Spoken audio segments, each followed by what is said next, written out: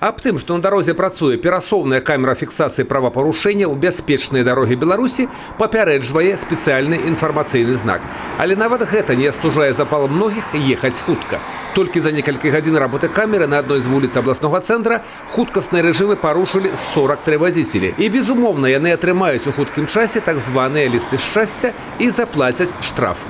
Зафіксаваным антырэкордам у Брэсце стала хуткасць аўтамабіля маркі Бентлі на вуліцы Янкі Купалы. Антирекорд, э, который работал на э, Янке Купалы, э, водитель на легковом автомобиле где-то около 13.00 проехал со скоростью 166 км в час. Усяго толькі з пачатку года аўтаматычнымі камерамі фіксацыі хуткасці ў вобласці ўжо зарэгістравана звыш 13 тысяч фактаў парушэнняў правілам дарожнага руху, звыш 11 тысяч супрацоўнікамі дзяржаўтаінспекцыі в области.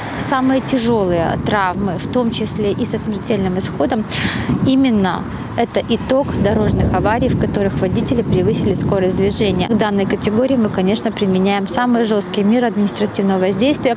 Это, как правило, лишение права управления. Склалася такое меркаванне, што умоўнае першае месца сярод парушальнікаў хуткастых рэжымаў займаюць уладальнікі аўтамабіляў маркі БМВ. Але са слоў спецыялістаў цэнтра фіксацыі правапарушэнняў бяспечнай дарогі Беларусі зусім не так.